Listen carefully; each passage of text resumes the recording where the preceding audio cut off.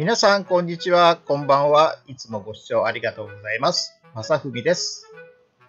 今回は愛知県の河口にやってまいりました。僕の動画では愛知県や静岡県の釣り場をメインに釣りの動画を配信しています。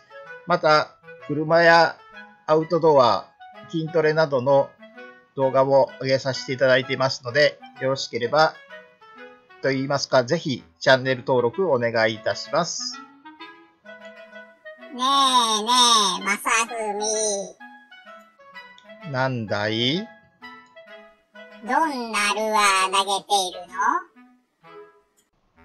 の？ルアーは、釣りの石黒さんというところのオリジナルブラウン、ブランドで、釣りのっていうメーカーがあるんですけど、そちらが出しているスピンテールジグの 7g になります。そうなんだ。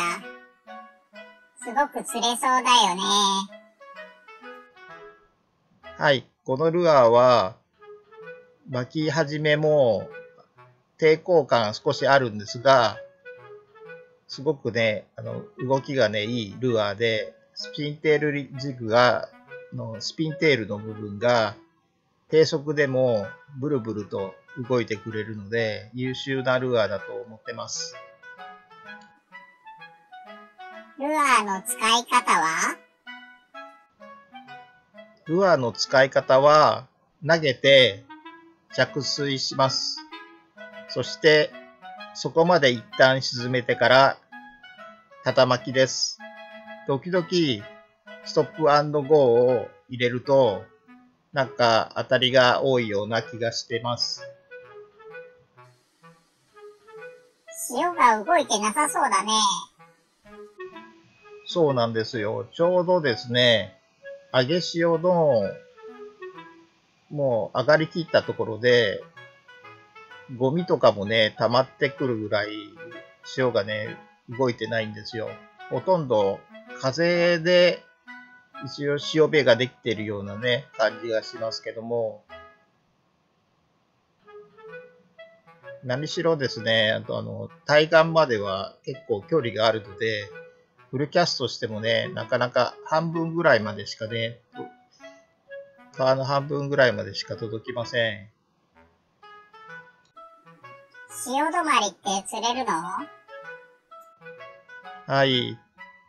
基本的には釣りにくいところなんですが、まあ、その分ですね、あの、潮が動いてない分、ルアーを、がアピールする、できるだけアピールするようなルアーをですね、使っています。これが、あの、風、風だけじゃなくて、流れが効いてるとこだと、スピンテールジグじゃなくて、普通のミノーだとか、ワームとかをね、使ったりします。一応いろいろ考えてるんだね。えへへ、すごいでしょすごいけど、なかなか釣れんね。う。一応、夕間詰めなので、ワンチャンあるかなと思って投げてます。投げて、着水を確認して、着底させて、それで、一気にね、巻き巻いてくるんですよね。だらだら巻いてたら、ここかなり根がかりしちゃうので、すぐ、あ、ミスキャストだ。やったー、ビスキャストそしたらなんか当たったよ。なんか連れてくるよ。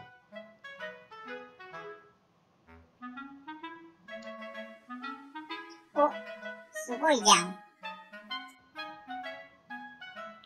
はい。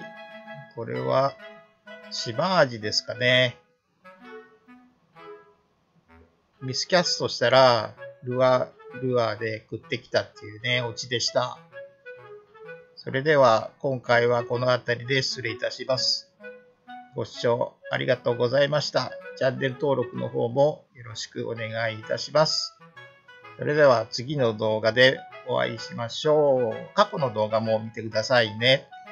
それでは、失礼いたします。バイバーイ。バイバーイ。